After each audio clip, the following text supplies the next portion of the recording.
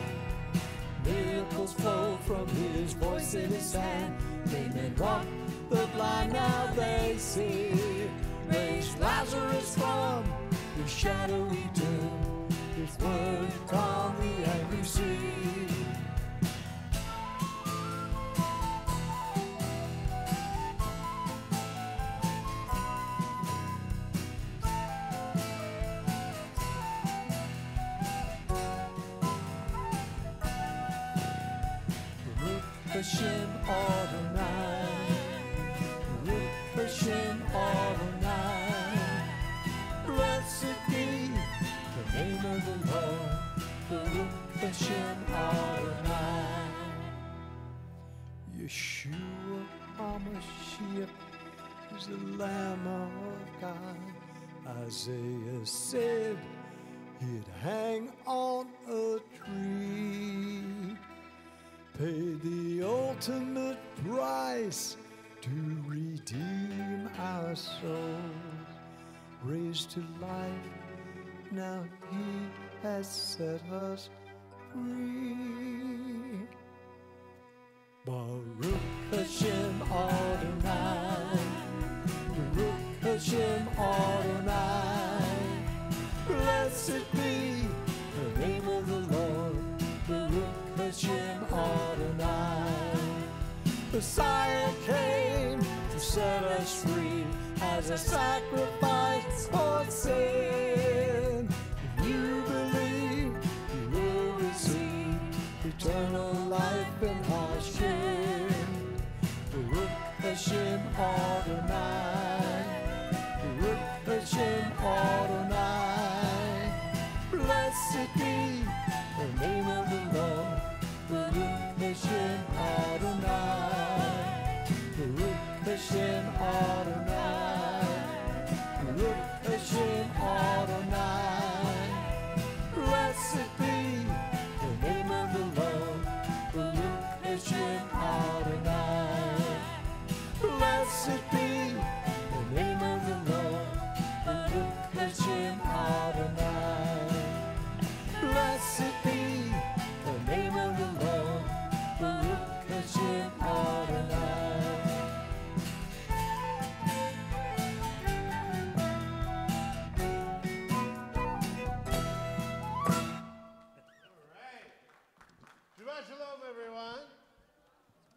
To welcome you to Beth Sar Shalom, the house of the Prince of Peace. We are a messianic congregation, a community, a training ground, a learning center of Jews and non Jews together discovering the Jewish context of the Bible and worshiping the Jewish Messiah. Today, we are celebrating this entire week, and a week plus one day, it's Hanukkah. It is the feast of dedication, the festival of lights.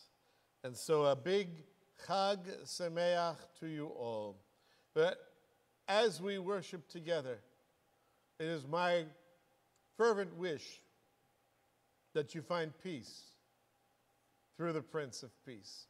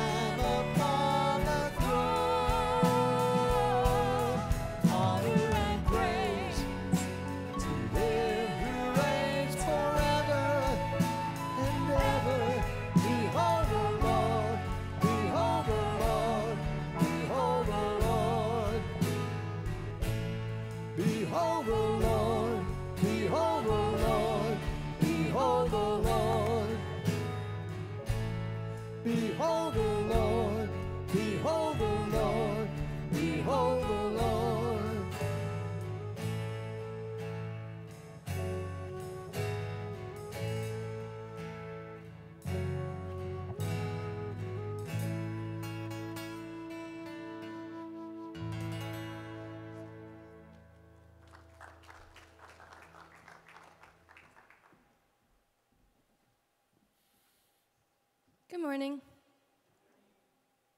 Please stand for the Shema.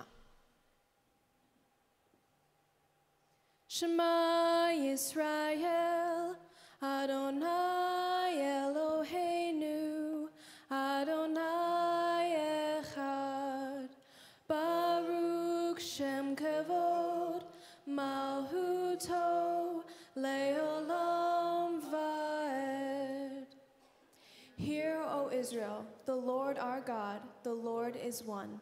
Blessed is the name of his glorious kingdom, forever and ever. Amen. Please join me for the blessing before the Torah reading. Baruch et Adonai Hamevorach. Baruch Adonai Hamevorach Le'olam Vahed. Baruch Ata Adonai.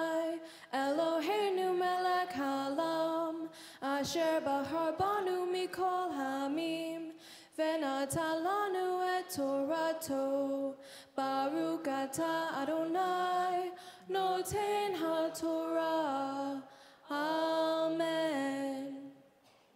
Bless the Lord, the Blessed One. Blessed is the Lord, the Blessed One, forever and ever. Blessed are you, O Lord our God, King of the universe, who has chosen us from all peoples and has given us his Torah. Amen. You may be seated. Good morning. Our reading today comes from Genesis chapter 39, verses 1 through 16. Now Joseph had been taken down to Egypt, and Potiphar, an Egyptian officer of Pharaoh, the captain of the bodyguard, bought him from the Ishmaelites who had taken him down there. The Lord was with Joseph, so he became a successful man, and he was in the house of his master, the Egyptian. Now his master saw that the Lord was with him, and how the Lord caused all that he did to prosper in his hand. So Joseph found favor in his sight and became his personal servant. And he made him overseer over his house, and all that he owned he put in his charge. It came about that from the time he made him overseer in his house and over all that he owned, the Lord blessed the Egyptian's house on account of Joseph. Thus the Lord's blessing was upon all that he owned in the house and in the field. So he left everything he owned in Joseph's charge. And with him there, he did not concern himself with anything except the food which he ate. Now Joseph was handsome in form and appearance. It came about after these events that his master's wife looked with desire at Joseph, and she said, Lie with me. But he refused and said to his master's wife, Behold, with me here, my master does not concern himself with anything in the house, and he has put all that he owns in my charge. There is no one greater in his house than I, and he has withheld nothing from me except you, because you are his wife. How then could I do this great evil and sin against God? As she spoke to Joseph day after day, he did not listen to her or lie beside her or be with her. Now it happened one day that he went into the house to do his work, and none of the men of the household was there inside. She caught him by his garment, saying, Lie with me. And he left his garment in her hand and fled and went outside. When she saw that he had left his garment in her hand and had fled outside, she called to the men of her household and said to them, See, he has brought in a Hebrew to make fun of us. He came in to me to sleep with me, and I screamed. When he heard that I raised my voice and screamed, he left his garment beside me and fled and went outside. So she left his garment beside her until his master came home.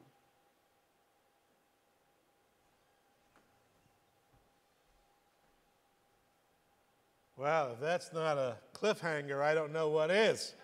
Let's uh, go back. There's a few things that I want to point out in this passage that we can simply deconstruct.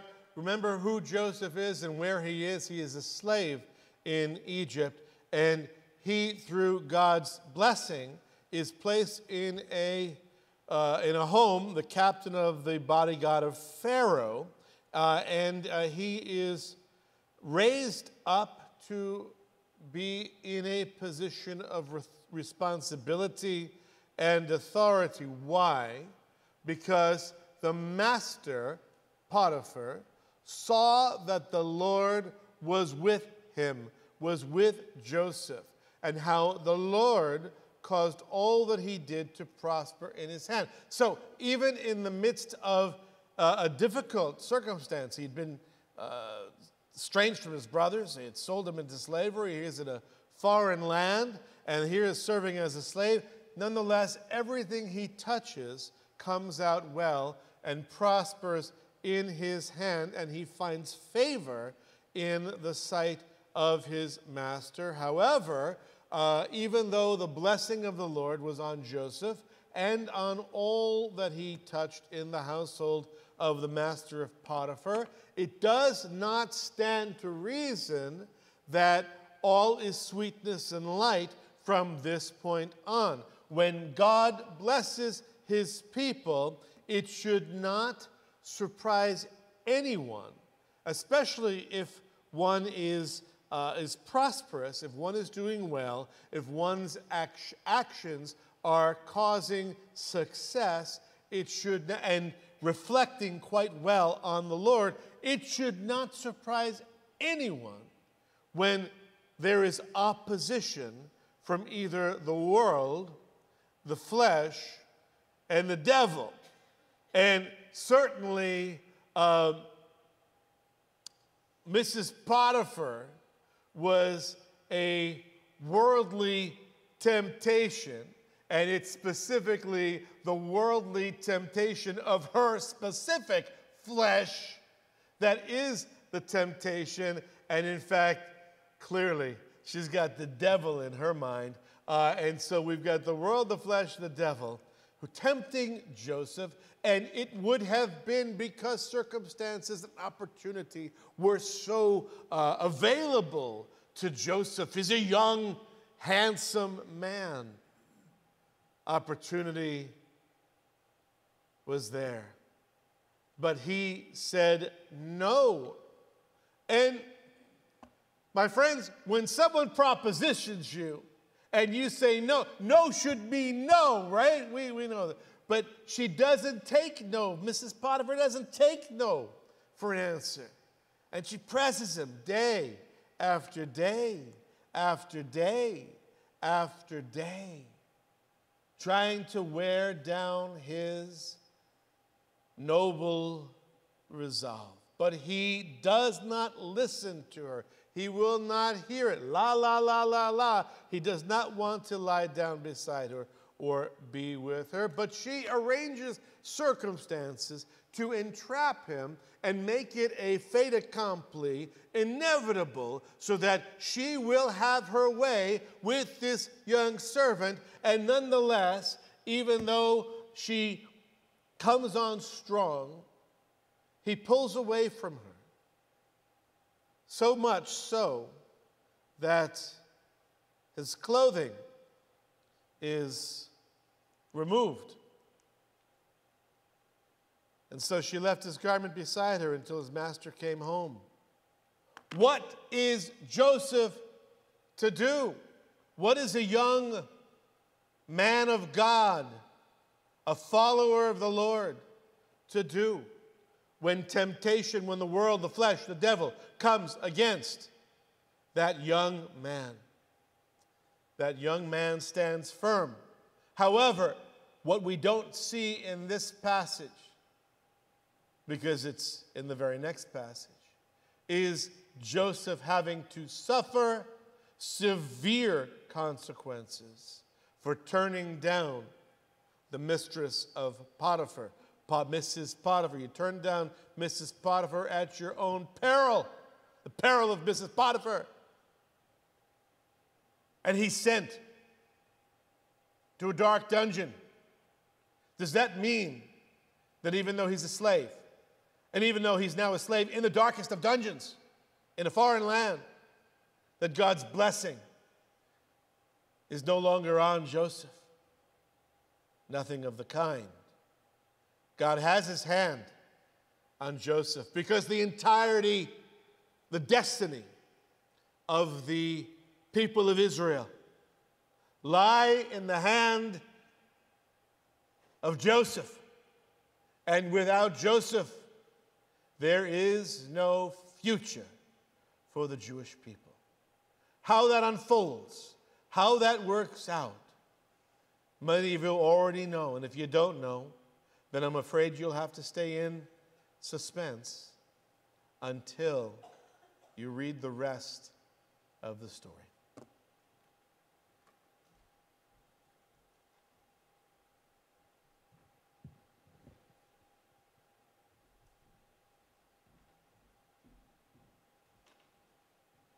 Please stand for the blessing after the Torah reading.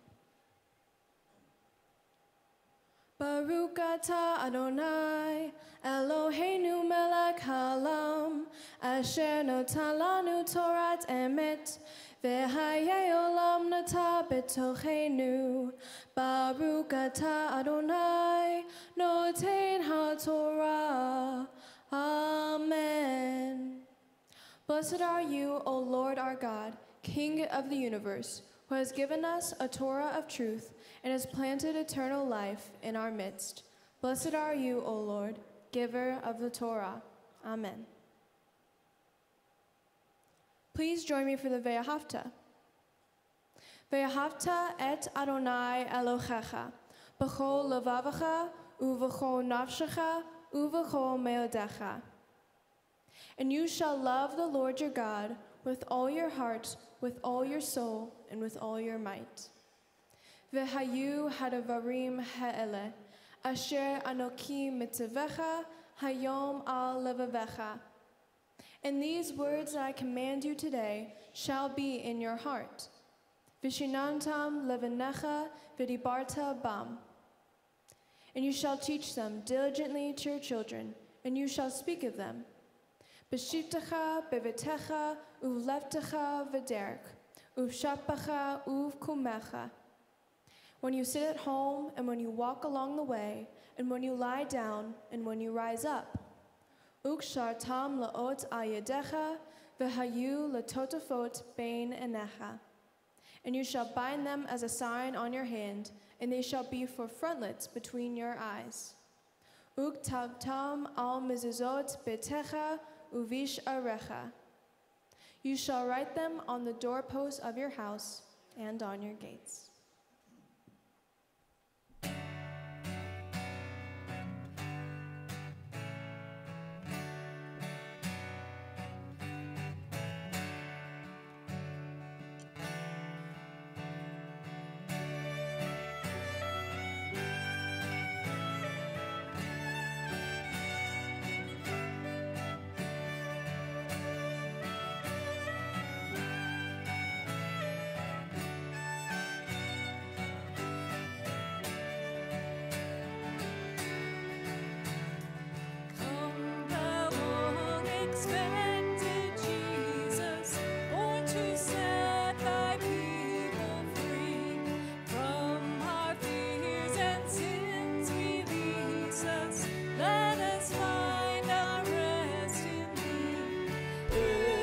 It's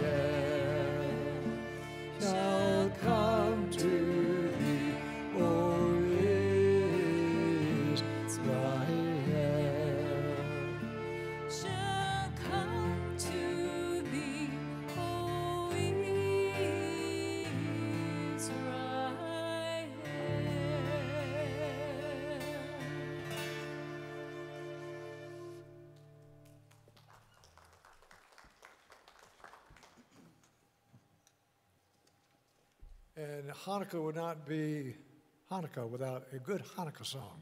Now, this is not a worship song, but certainly a Hanukkah song. So join us and let's have some fun with this.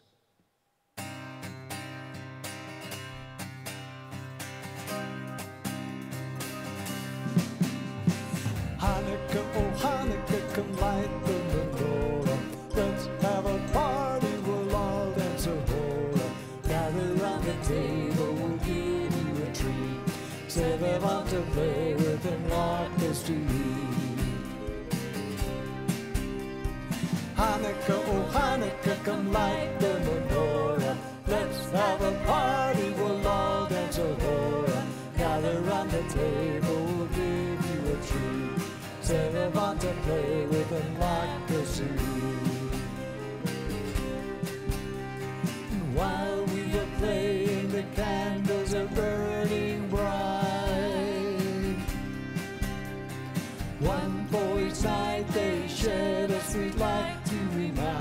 of days long ago.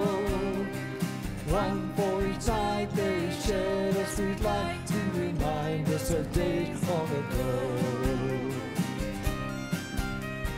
Hanukkah, oh Hanukkah, come light the menorah. Let's have a party, we'll all dance a hora. Gather round the table, we'll give you a treat. Sit on to play with and like this to read. While we were playing, the candles are burning bright. One for each night they shared a sweet light to remind us of days long ago. One for each night they shared a sweet light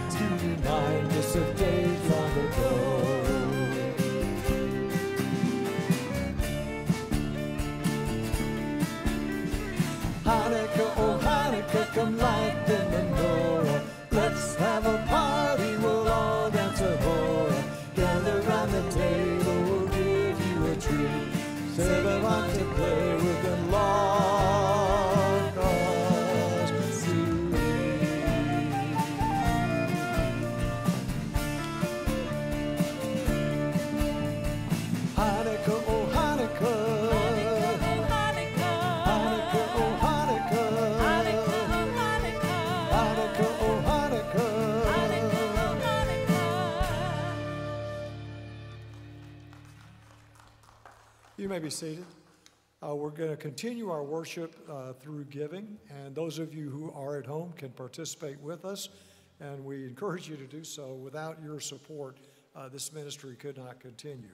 And uh, we uh, genuinely appreciate the generosity of, of our people here, uh, as well as those who are at home. You can go on to your bank account and you can give through Zelle, and that's a, a really great way because there's no uh, fees on either side of that transaction. So it's good for the giver, it's good for the recipient, and we really appreciate that. You can do that by sending it to give, G-I-V-E, at shalomdfw.org. You could also send a check to Beth Sar Shalom, 6505 West Park Boulevard, Suite 306, PMB 232. That's in Plano, Texas, 75093. Uh, you could also go to our website, uh, and you can give there at shalomdfw.org forward slash donate. And then if you're here this morning, uh, you can participate through uh, giving in there the basket. So uh, we do appreciate very much that that you give.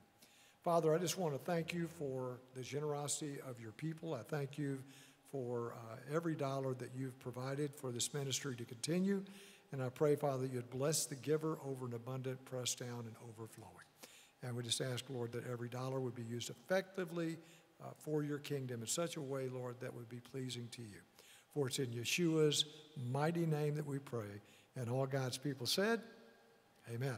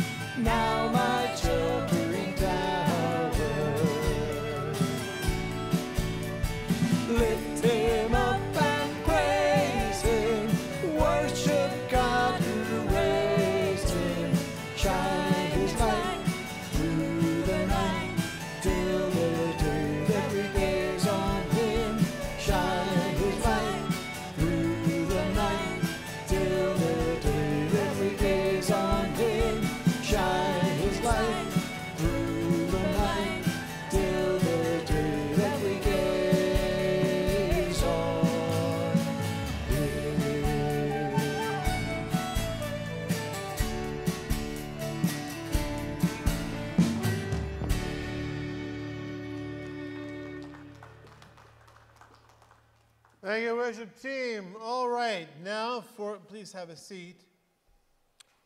In the in honor of uh, of uh, discussing Hanukkah, I want to uh, show you a video. This was released this week, and it's one of the best videos that I've ever seen.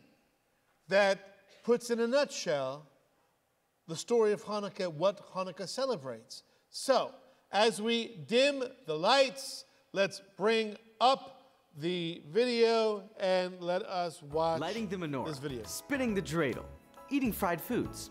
Bring the lights down, I'm talking about the Festival of Lights. But there's more to Hanukkah than latkes and gelt. More than that. What if I told you that the Hanukkah story has more intrigue and violence than a season of Game of Thrones? Impossible. It's got everything a ragtag group of rebels and zealots, a mighty empire, a civil war, and a really awful villain. So, what's the real story behind Hanukkah? And why does a 2,000 year old rebellion still matter to us today? The year was sometime around 200 BCE. The place was the land of Israel. Except it wasn't very Jewish at the time. The Holy Land has changed hands once or twice, or 36 times over the years, and at this particular moment, it was in the hands of the Syrian Greek Empire, aka the Seleucids, ruled by Antiochus III. The Seleucids were pretty into Hellenism, Greek culture. You know, muscular, lifelike statues, Greek gymnasiums, Greek temples, Greek philosophy, Greek gods. It was basically a Percy Jackson novel. This is crazy. Hellenism had its upsides. I mean, democracy, the Olympics, a commitment to getting swole. Oh, yeah! Plus, the Seleucids really encouraged their subjects to adopt Greek culture. Some Jews gave in, but others were less than thrilled about the whole polytheistic pagan thing. You don't really do that. Despite the disapproval of the anti Hellenization crowd, life under Antiochus III was more or less peaceful. For an ancient imperialist, the guy was pretty chill. Sure, he showed up and announced that everyone in the land of Israel was now a Seleucid subject. Nice. Nice. But, like, he didn't kill or banish the Jews, and he didn't interfere with their right to worship as they pleased. As long as he was in charge, Jews and Seleucids were basically cool with one another. But here's the thing about monarchy it tends to be hereditary, which means that the king isn't always the most qualified guy in the room. Antiochus III might have been great. His kid Antiochus IV? Eh, not so great. Ladies and gentlemen, we have our villain a paranoid, power hungry, militaristic schemer. But for all his faults, Antiochus IV was politically savvy enough to exploit a power vacuum when he saw one. The Jewish priests in the Holy Temple had been squabbling for years, creating the perfect conditions for a hostile takeover. In one corner, we have the pious, non Hellenizing types who care about the letter of Jewish law. In the other corner, we have the guys who care about power and are willing to do anything to get it. Both camps appealed to the Seleucid authorities to take their side, but it was the second camp, the I'll do anything for power guys, who ultimately won. Because they made Antiochus an offer he couldn't resist. I'm talking about bribery. Bribery. Nice. But here's the thing about buying your power there's always going to be someone who outbids you. And that's exactly what happened.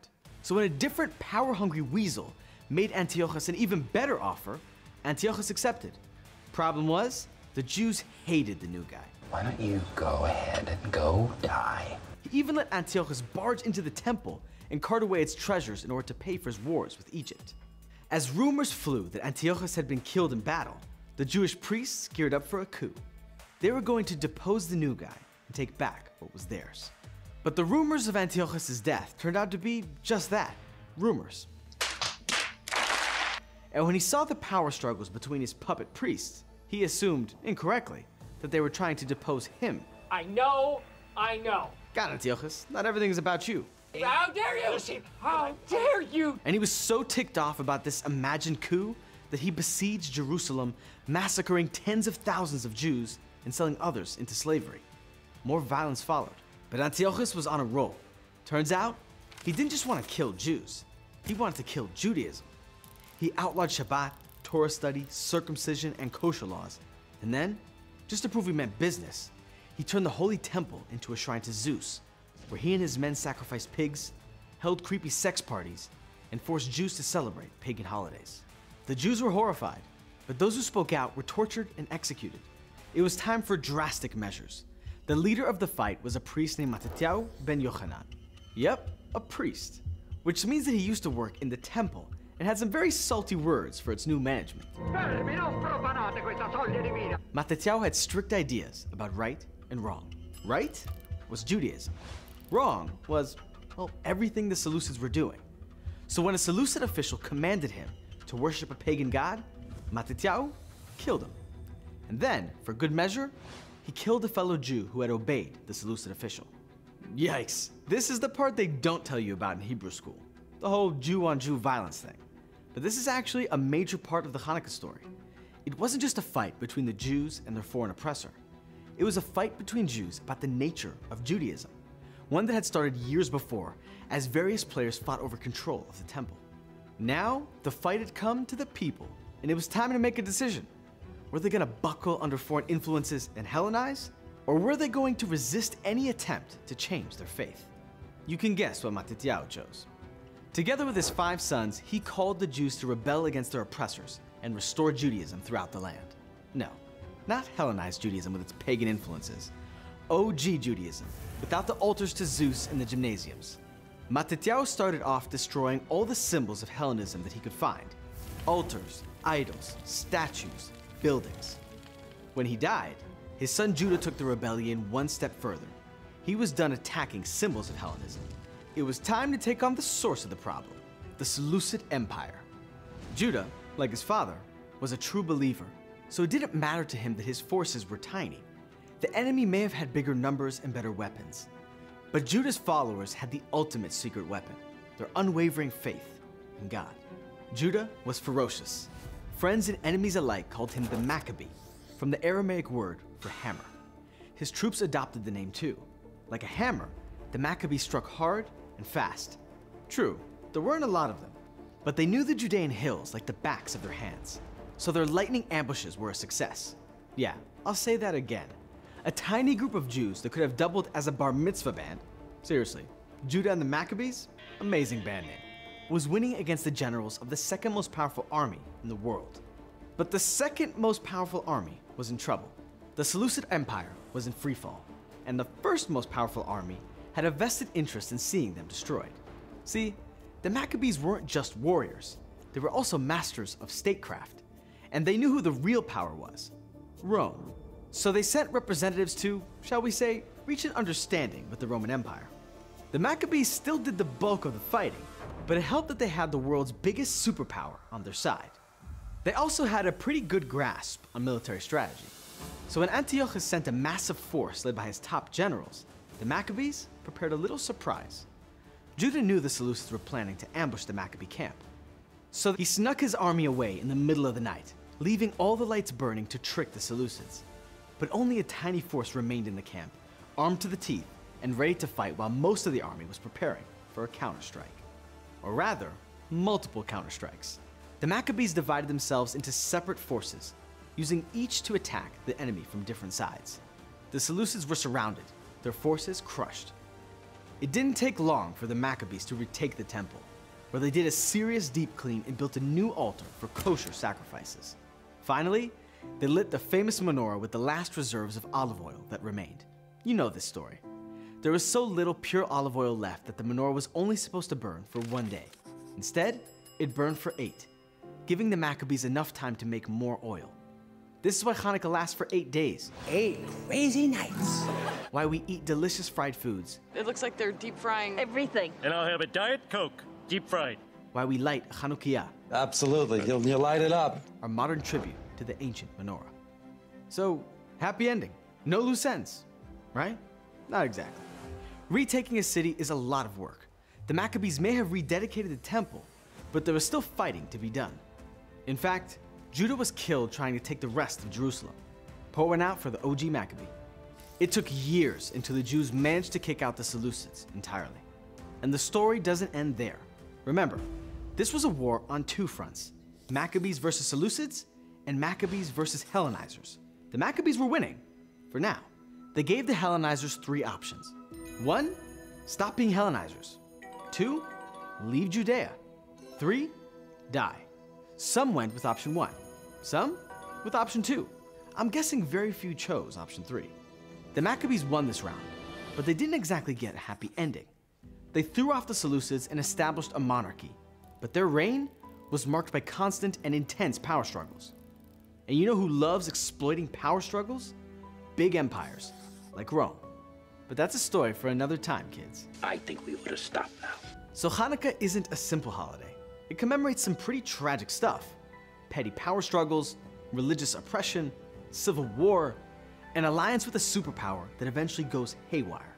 Now, I'm not trying to be the Grinch, or rather, the Grinch who stole Hanukkah, because at the end of the day, it's still a celebration of resilience, of beating the odds, of standing up for your beliefs. Throughout our chaotic history, the Jewish people have drawn strength from the story of the mighty warriors who fought to keep their culture alive and won. For what it's worth, I think the Maccabees themselves would have been both amazed and horrified by their legacy. On the one hand, Jews use Maccabee as a synonym for strength, heroism, and bravery. Israeli sports teams are named for the Maccabees, and so are the Jewish Olympics, or Maccabiah Games. And no, the irony of that isn't lost on me. But how would the Maccabees feel if they knew that their holiday has become commercialized in an attempt to compete with Christmas? So while I don't live my life like a religious zealot circa 167 BCE, I do try to spend the eight days of this holiday celebrating my right to worship freely, as I please, in my own homeland. Considering Jewish history, that's a real miracle. All right. Let's, uh, let's bring the children up for a blessing.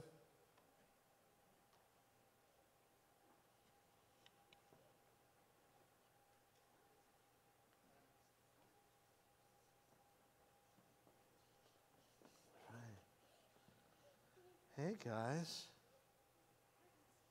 Okay, kids, who can tell me what this is that I'm holding in my hand? Yes. It's a menorah, a Hanukkah, that's right, a special Hanukkah menorah. And uh, why do I have it in my hand right now? Because it's Hanukkah. Hanukkah, exactly right. And every night, as you know, you always light the middle one and the middle one, from the middle one, then we go from one, and then the second night it's two, and then three, and four. Does anybody know which night tonight is? No, it's three. Yes, exactly right. And on the third day of Hanukkah, what did my true love give to me? no, that's a joke. well, this is a very important holiday, and the prayer that I'm going to pray for you is that you guys, a little bit different than normally uh, we do, but I want, I'm going to pray this morning that you guys have the courage and the strength of the Maccabees so that if anybody tries to put out the light of your faith, or your ability to talk about your faith or to live your faith, that you will have the courage to be able to tell them, no, that's wrong. I'm going to, I'm going to follow the Lord and I'm going to let my light shine, right?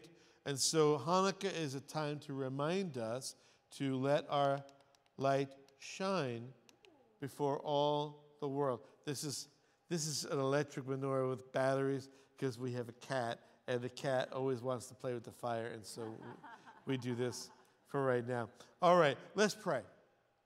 Our Father and our God, we come before you this morning grateful to be able to celebrate Hanukkah and uh, to remember what Hanukkah stands for. But help us, Lord, to, uh, to live in the light of your love and to have the courage of the Maccabees in standing up for you and being able to have the courage to be and the bravery to be able to speak up for our faith. And if people tell us that we can't worship you or that it's wrong to worship you, we can say, no, that's wrong. That's wrong. God tells us that we have to let our light shine before men so that they may see the love shining through us, the light of our God shining through us, and they may glorify you. Um, so I pray, Lord, for each one of these kids today. I pray, Lord, and for their families. Help them to, uh, to live and to grow in light of your love, your power. Uh, raise up warriors, Lord, brave and courageous, to stand for their faith and to represent their Messiah um, wherever they go. And uh, we ask in the name of our Messiah, Yeshua. Amen. All right, guys, you are dismissed. As to the rest of you lot, um, talk amongst yourselves. Meet and greet one another.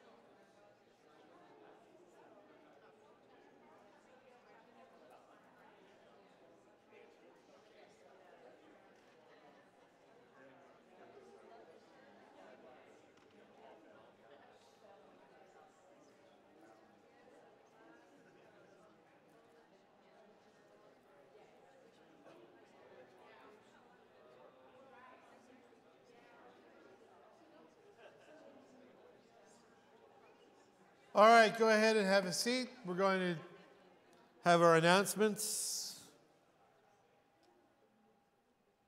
By the way, I have the uh, I have this battery operated menorah, and I have it lit on every candle. Uh, not because I don't know which day of Hanukkah it is, but because uh, technically you're not supposed to light them during the day anyway. Uh, but uh, I see so many other holiday lights that are up that I can't uh, help myself but letting my light shine. So uh, let's remind ourselves that, uh, uh, that in the spirit of Hanukkah, let us be not just for the children, but for us, facing all manner of opposition to our faith, just as the Maccabees did then. We will stand strong in our faith, no matter the persecution that comes against us. All right, announcements. Uh, wrapping up this class. You don't have a prayer. We got two weeks left. So if you uh, if you haven't been part of this class thus far, you still got two uh, two more chances to do it. Uh, limited engagement. So come and be part of our our morning together next week at 9 o'clock, right upstairs, room 200, as we talk about the why and the how of prayer over the next two sessions. Um, anybody wants to help reset the stage? We could use some help with that. Uh, we have an annual meeting coming up on the 16th. That is next week. So if you are a member of our congregation, that means you have a vote. Uh, and uh, so we'll be voting budget and officers, presentation uh, of the budget and new officers, and uh, we'll be voting as well on that same day. We're just going to knock them all out one day next week. All right, and today we have our mishpucha meal, so please stay. Hopefully, uh, you've brought something to, uh, to uh, share with us today. And if you haven't, that's okay because we have plenty to share. Um, so um, uh, please stick around for the mishpucha meal. Uh, that means clan, that means family. So uh, don't, don't disappear. Uh, don't, don't feel odd if you don't have something to contribute to the family meal. It's okay. Uh, we're here for you. We've got food for you. Please stay. We want your fellowship. All right, having said that, let's get back to our series, our series, Making the Case for Israel as the Jewish people's homeland, making the case for Israel, the Jewish people's homeland. We began this series with an overarching uh, uh, first segment, section, which is going to take weeks. Uh, and that is exploring the biblical record. What does the biblical record say theologically and historically uh, regarding the uh, case for Israel and their right to the land? Uh, and the biblical record dates from 2000 BC uh, the time of Abraham, all the way up through past the New Testament era, the time of the Second Roman Revolt, 135 ish AD.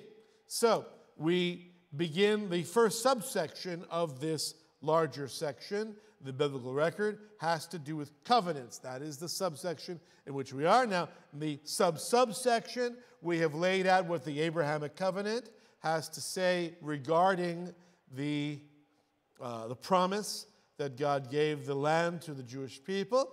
We looked at Abraham, we looked at Isaac, we looked at Jacob. We saw the, in fact, take a look at this map. We'll be looking at it again. Uh, this, these are the boundaries of the promised land, including that, uh, that uh, uh striped section. That's the boundaries as laid out in Genesis 15 of the promised land. We saw that the birth of Ishmael doesn't really impact the Abrahamic covenant because the Abrahamic covenant does not go through Ishmael, it goes through his son Isaac. We saw that it goes from Isaac, and from Isaac it continues through not to Ishmael, but to Abraham and Isaac and Jacob. Uh, I pointed out when Sarah died, and this was actually a big, the Bible makes a big deal of this, especially Genesis, regarding the one plot of land, even though all of the land is promised to the Jewish people in perpetuity, that at the time of the patriarchs, there actually only was one plot that actually was physically purchased uh, an actual transaction, and over and over and over again, that transaction is mentioned, and that has to do with the uh, cave of Machpelah in the plot of Mamre, where, uh, where uh, Abraham and Sarah were buried. The area of Hebron. Uh, after Abraham is buried in this area, we have Isaac and Jacob, the Abrahamic covenant continuing through Isaac and Jacob. Jacob receives the name Israel, and the Abrahamic covenant, that basket, that complex of promises uh, that contain much more than just land, but we're only focusing on the land promise in this series, and we're seeing that. Uh, that uh, uh, not only Israel is uh, a recipient of the Abrahamic covenant, but the 12 tribes as well, uh, including Joseph, and that they will be taken back to the land of promise, the land of Canaan, and specifically mentioning the burial location once again, multiple times, the, the uh, death, uh, the burial location in Machpelah which is outside of Hebron. Joseph dies. He expects when the Jewish people return to their land that they are going to take his bones up from there. Then we got to the, this is the new section we started last week. Moses and the Abrahamic covenant. We've only looked at Genesis up to that point. Uh, then we look at Exodus and how Moses, prior to the, uh, to the covenant at Sinai, to the Mosaic covenant, how Moses interacts with the Abrahamic covenant. And we looked at the burning bush. And uh, we've seen the Lord say, I am aware of your sufferings, and I have come down to deliver the Jewish people, the people of Israel, and bring them to that promised land. That's Exodus 3. This is at the, uh, at the burning bush. And then Exodus 6, three chapters later, with Moses now back going to his people who are slaves in Egypt. We have the reiteration of God's plan and program. This is exactly what we commemorate, what we remind ourselves of with the four cups at Passover. And uh, I've established my covenant with them to give them the land of Canaan, the land which they sojourned. I've heard the groaning, and I have remembered my covenant. What covenant? Moses is reiterating, or the Lord is reiterating to Moses, the Abrahamic covenant. So we have these promises I am the Lord, I will bring you out, I will deliver you. So I will cup of sanctification, cup of deliverance. I will redeem you with an outstretched arm, great judgment, cup of redemption. That is the cup, by the way, that we uh, commemorate when we participate in communion. It is that cup, the third cup, that our Lord took uh, and uh, added great significance, not just the significance of God redeeming his people from the bondage of Egyptian slavery, but for all who believe, Jew or Gentile alike, to be liberated from the bondage of our sin and be forgiven for our sins. And then we have the cup of uh, consummation in 7 and 8. I'll take you for my people, I'll be your God. You will know that I'm the Lord your God who brought you out from the burdens of the Egyptians. And I will bring you to the land. This is where we left last week, two weeks ago, rather. I'll bring you to the land which I swore to give to Abraham, Isaac, and Jacob, and I will give it to you as a possession. I am the Lord. So, summarizing that great amount of summary we've already done thus far in five minutes Genesis and at least the first few chapters of Exodus emphasize, reiterate, repeat over and over again.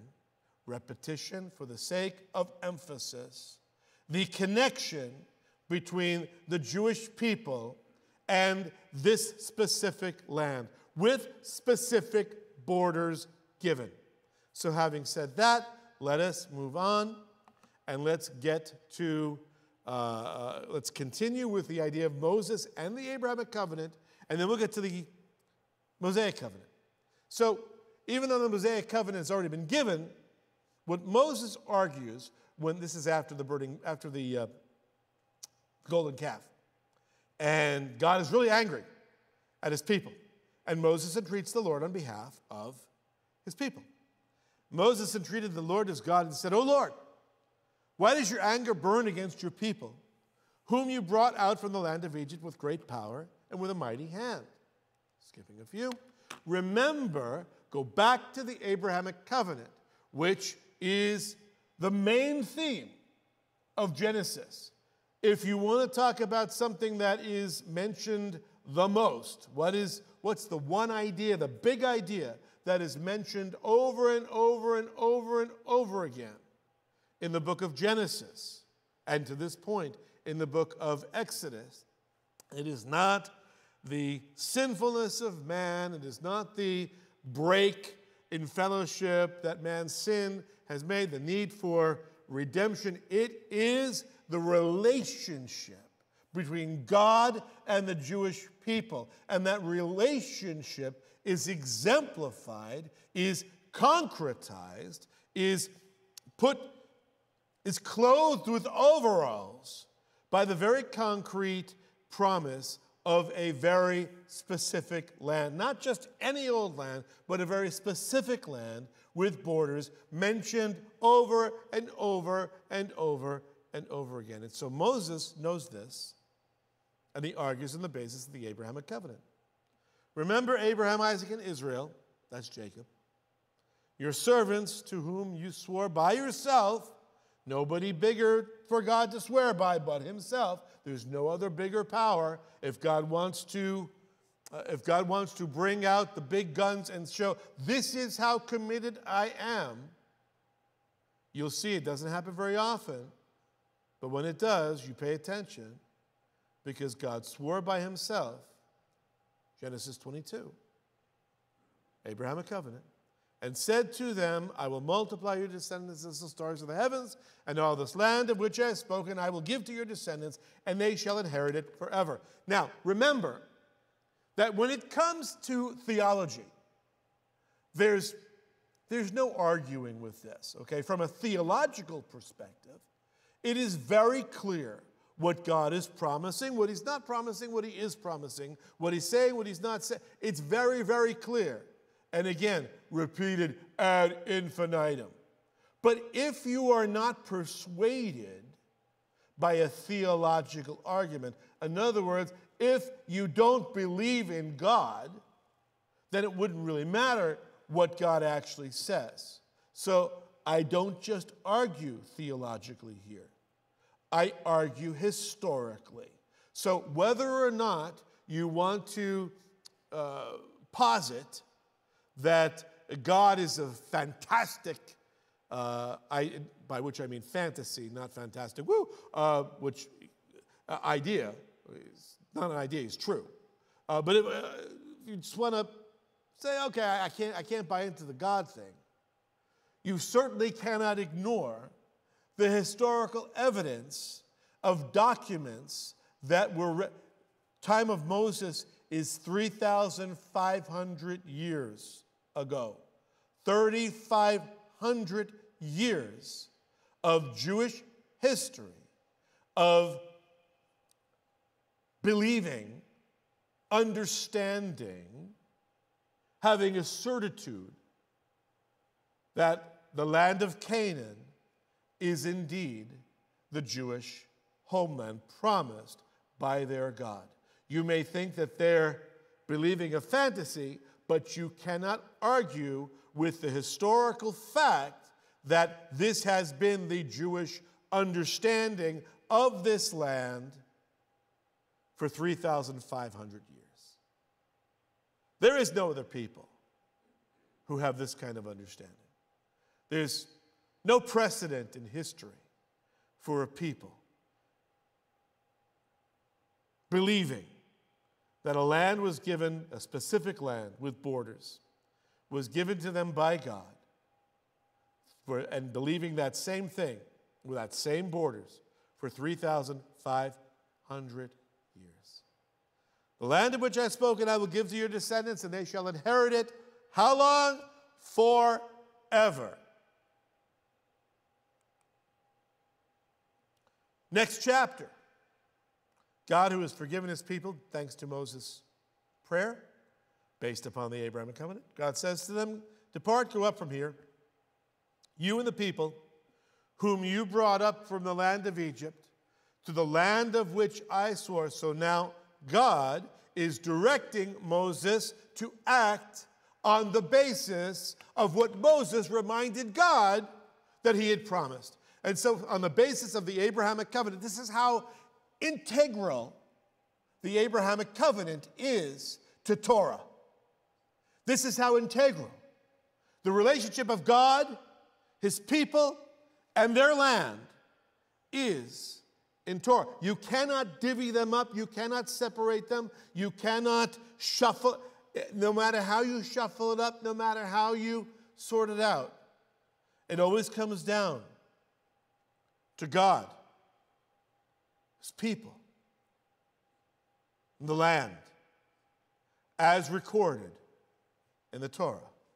Those are the fundamental foundations upon which the Jewish people have always stood. So depart, go, go to the land which I swore to Abraham, Isaac, and Jacob, saying to your descendants, I will give it. Now, that's the last time that Moses is going to argue, last major time, that Moses is going to argue based upon the Abrahamic covenant, a few minor places, but I don't want to belabor the point. So now we move on to see what does the Mosaic covenant, which is not given until Exodus 20 and forward in Torah, it's not given until what does the Mosaic covenant have to say about the relationship between the Jewish people and the land? Does it reiterate? Does it magnify? Does it amplify? What is the relationship between the Mosaic covenant and the Jewish people's possession or right to the land? If we look at Leviticus, and this is not a chapter that many people read, it is a chapter much like we will find in Deuteronomy, the end of Deuteronomy, it's a chapter of blessings and curses. And we pick it up because I don't want to belabor an entire chapter of blessings and cursings. We'll just summarize that if you break the Mosaic covenant, here's what's going to happen you will perish among the nations, and your enemy's land will consume you. uh oh, that doesn't sound congruent with the Abrahamic covenant. How does this work? Let's see if we can see. 39. So that those of you who may be left, left in the land, will rot away because of their iniquity in the lands of your enemies, and also because of the iniquities of their forefathers, they will rot away with them. And they shall confess their. iniquity. So, there are, while the possession, while the, the ownership of the land for the Jewish people as a corporate entity is inviolable. You cannot shake it. You cannot break it. What you can do is, is, is every generation can determine by their actions whether or not that particular generation is worthy of enjoying possession of the land.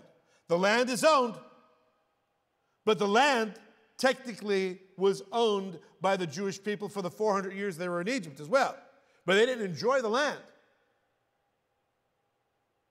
And so God is telling through the Mosaic covenant that based upon obedience or disobedience to this particular covenant, which is not the Abrahamic covenant, it's alongside the Abrahamic covenant. Based upon your obedience or disobedience to the Mosaic covenant, you will determine whether or not you as a generation will enjoy possession of the land or whether the land will be devoid of your presence or the majority of your presence for a period of time. And your behavior will have direct repercussions not only for your specific generation, but for generations to come, your children's children. So notice there is a antidote to what happens when the Jewish people are temporarily dispossessed of enjoyment of the land that they own. God tells us in verse 40, and they shall confess, and the nations to which God has, has uh, driven them, and their suffering, they shall confess their iniquity, and the iniquity of their forefathers, generational repercussions, generational consequences in their unfaithfulness which they committed against me, and in their acting with hostility against me, you break the, Abraham, the Mosaic covenant. In other words, if you're under the system of the Mosaic covenant and you break it, then you are acting with hostility against the Lord. What happens is I also were acting with hostility against them to bring them in the land of their enemies. But what's going to happen is they will confess their sins. They will come to their senses. And then their uncircumcised heart becomes humbled so that they will then make amends for their iniquity. In other words, according to the Mosaic covenant, the sign of the Abrahamic covenant, physical circumcision, is insufficient to determine possession of the land for any given generation. Depends on the behavior. And there will be consequences of for generations to come regarding the acts of each generation or their ancestors. But no matter what the punishment may be, their uncircumcised heart will become hum- humbled and they will confess their sins, they'll make amends for their iniquity. And when that happens, I will remember my covenant with Jacob and my covenant with Isaac and my covenant with Abraham as well, and I will remember the land. So, possession of the land, ownership, in other words, of the land, is on the basis of the Abrahamic covenant. There is nothing that the Jewish people can do according to the Bible, not according to me, according to the Bible, that would violate uh, and invalidate God's guarantee of Jewish ownership, right to the land. However, when we bring the Mosaic covenant in, Mosaic covenant is very clear that enjoyment of the land is not a guarantee. Possession, ownership of the land is. Even when you're out of the land, you still own the land. But you may not get to possess, or enjoy rather, the land based upon your relationship with the Mosaic covenant. But when you confess your sins, when you come to your senses, God says, I will then, on the basis of not the Mosaic covenant, but on the basis of my faithful promises to Abraham, Isaac, and Jacob, on the basis of the Abrahamic covenant, I will bring you back. I will remember the land. For the land will be abandoned by them, they will make up for its Sabbaths while it's made desolate without them. Yet, in spite of this, when they are not, or when they rather, are in the land of their enemies, in other words, when there is worldwide dispersion, God will not reject them. I will not reject them, nor will I abhor them so as to destroy. I'm going to be mad. God says, I'm going to be mad. I'm going to be a little upset. In fact, I'm going to be a lot upset. But I will never be so upset so as to wipe out my people, Israel. They are my chosen because of my relationship with Abraham, Isaac, and Jacob. They're not really chosen because they received the Mosaic covenant. They're chosen because I chose, prior, 400 years prior to the Mosaic covenant, I chose Abraham, Isaac, and Jacob. Well, really, I chose Abraham, and Isaac and Jacob are the beneficiaries of being a descendant of the guy I chose Abraham, Isaac, and Jacob, and the 12 tribes, etc., etc. So while they're in the land of the, I will not reject them. God, nor will I abhor them so as to destroy them, breaking my covenant with them. For I am the Lord their God. God will never break his covenant with them. God, no matter how the Jewish people behave, God will always be faithful to his guarantees. And I will remember them. I'll remember for them the covenant with their ancestors whom I brought out of the land of Egypt in the sight of the nation. Now, this is where the Abrahamic covenant meets the Mosaic covenant. I will remember I brought them out. Why did I bring them out of Egypt? Because of the Abrahamic covenant. And once I brought them out of Egypt, what did I give them? The Mosaic covenant, so that they could be in relationship with me. And I brought them out of the land of Egypt in the sight of the nations that I might be their God. I am Jehovah. I am the covenant God. Now, remember what happens going now beyond Leviticus to Numbers. Remember what happened when the spies, we talked about this months ago when we did Hebrews. The 12 spies are sent by Moses. Go check out the land and give us a report. And 10 spies give a lousy report, two spies give a good report, Joshua and Caleb. Uh, and the Jewish people say, Feh, we can't take the land, it's too hard. God, why did God do this?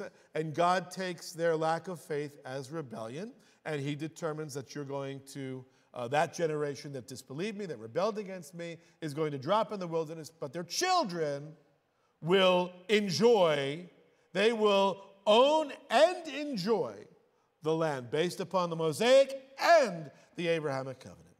And so now in 14, uh, God is dealing with this issue. Now, if you slay this people as one man, this is Moses praying again for his people. If you slay this people as one man, the nations have heard of your fame will say, because the Lord could not bring this people into the land which he promised them by oath.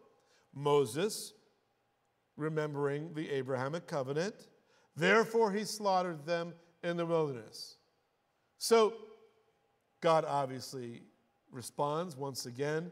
This is a good, this is a really good argument uh, to make with God. He responds to this argument uh, pretty positively on, on the regular every time it's used. God, remember the Abrahamic covenant. And God says, Yeah, okay, now that you mention it, got it. Okay? So the land which he promised them by oath, that's the Abrahamic covenant.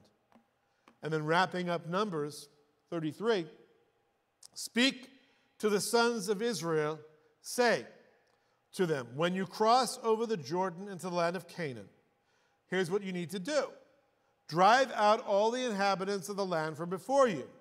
Destroy all their figured stones, destroy all their molten images, destroy all their high places, all their idols, in other words. And you shall take possession of the land and live in it. For why? I have given the land to you to possess it on the basis of the Abrahamic covenant expressed through the Mosaic covenant. This is how important, this is how essential understanding the covenants are in Torah. You will inherit the land by lot, according to your families. The larger you'll give more inheritance, the smaller you give less inheritance. Wherever the lot falls to someone, that will be his. But if you do not drive out the inhabitants, this, I threw this in because this is very instructive. If you do not drive out the inhabitants of the land, it was true 3,500 years ago in the time of Moses, and it's true today. It's always been true. If you do not drive out the inhabitants of the land from before you, then it shall come about that those whom you let remain of them will become as pricks in your eyes and as thorns in your sides, and they will trouble you in the land in which you live. That was a warning God gave the Jewish people 3,500 years ago. It was true then, it remains true now. Finally, Numbers 34. Command, we'll get to Deuteronomy next week. Demand the sons of Israel, command rather, the sons of Israel, and say to them, When you enter the land of Canaan, this is the land that shall fall to you as an inheritance. Remember, it's going to fall to them by lots. Uh, bigger ones are going to, bigger families are going to get a lot, uh, and uh, smaller families are going to get small. But everybody's going to get. But this is the land, and let me give you the borders. Even the land of Canaan, according to the border. Last time we've had specific borders regarding the land was in Genesis 15. They were, they were specific, but there was some ambiguity as to exactly how far they went. Here's the border your southern sector shall extend, your southern border shall extend, uh, and then it, uh, so the south, I'm going to give you border. The border will turn direction to the brook of Egypt, its termination shall be at the sea. So, very specifically, south to the sea and the brook of Egypt. As for the western border, the Great Sea, it's Mediterranean, that is its coastline, that shall be your west border. This is your north border.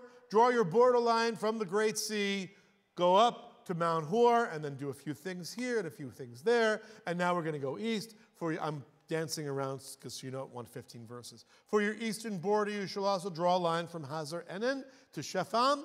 The border shall go down and reach to the slope on the east side of the Sea of Kinneret. That's the Sea of Galilee. Okay, the east side of the Sea of Galilee. And the border shall go down to the Jordan, and its termination shall be at the Salt Sea. This shall be your land according to the borders all around. So, now, Moses commanded the sons of Israel, saying, This is the land that you are apportioned by lot. Among you is possession, which the Lord has commanded to give to the nine and a half tribes. Nine and a half tribes are going to be on the west side of the Jordan, and two and a half tribes have received their possession across the Jordan on the east side, Transjordan, opposite Jericho, eastward toward the sun rising. So, this is where we're going to leave you. This same map that I showed you before. Now, the striped area, the striped area, is, uh, is what was promised ultimately by God in Genesis. What he lays out here is the green. He takes you from the green, see the green area, uh, Brook of Egypt, same border, uh, takes you the green, and takes you all the way up to the north to, the, to Dan. But then the pink is actually um, what Moses is commanded. So ultimately, it's a lot larger than what Israel is going to be able to take at this point. But Moses is instructed tell him, take the green and take the pink. Notice what's in the pink Lebanon and Syria. Um, all the way up north is Euphrates. That's part of the promised land, but it's not part of the land right now expected. Now, why didn't Israel take all of the promised land? They were unable to take all the promised land under Joshua. They simply did not do so. They did not have the ability to do so for whatever reason.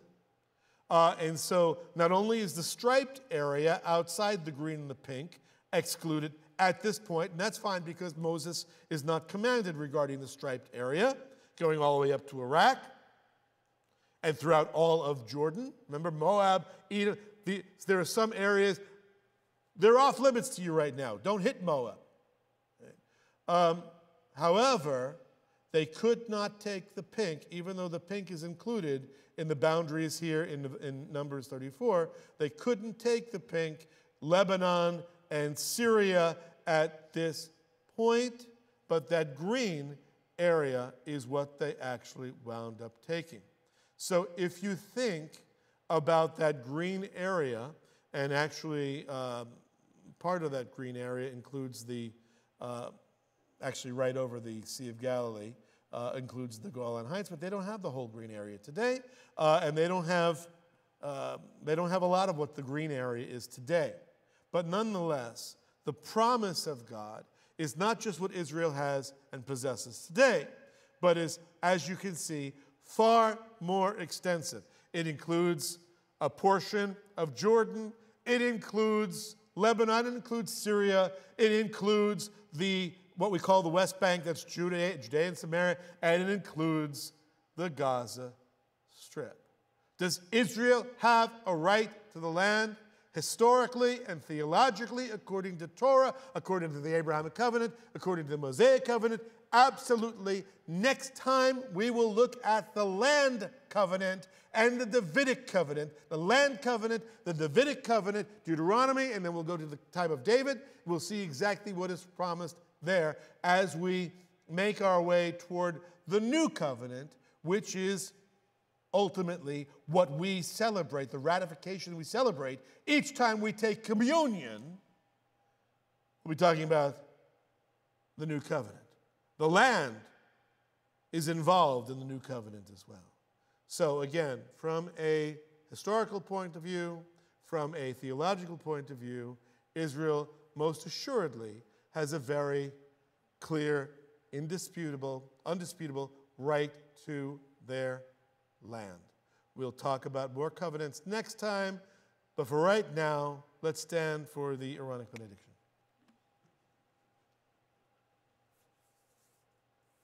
When the service ends, we'll make our way out to our mishpucha meal, and please stay. If you're a first-time visitor, uh, we'll take it by faith that you're mishpucha. You're part of our clan. Welcome home, by the way. Um, but while most of you are doing that, I know that some of you have prayer requests that you'd like prayer for.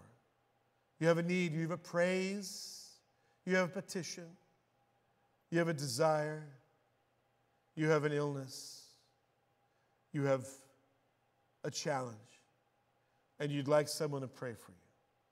I'll be right here in the front as soon as the service is over. You just come right down. Don't go, there'll be, there'll be food waiting for you. Okay? Um, just come on down, and I will pray for you one at a time, as many as are here, or as few as are here.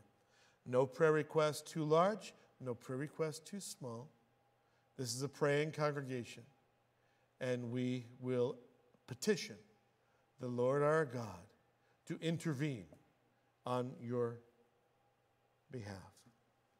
In the meantime, we are grateful that the children have been released from being hostages, with the exception of two, Kfir and Ariel.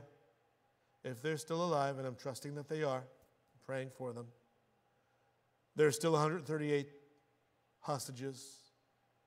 But Israel's army is on the move. And God has given them great favor against the enemies of Israel. And we are grateful and we thank God, but we do not give up the fight, by which I mean we do not cease praying. A little bit of success doesn't mean the conflict is over. As you can see, the conflict regarding the enemies of God and God's people is not limited to the land of Israel, but it is international in scope. You saw, many of you, I hope, saw the embarrassment of our presidents of our finest educational institutions who could not bring it, bring themselves to condemn genocide against the Jewish people. They simply could not say the most simple thing that yes, genocide against the Jewish people violates our code of conduct. This is our culture, this is our society. We must shine like the Maccabees did. We must shine as lights in the darkness, representing God to a world that cannot see in the dark. So, anyway, let's let's give thanks to our God. The Aaronic benediction. Yivarechecha Adonai v'yishmerecha. Adonai panav alecha v'chunecha. Yisa Adonai.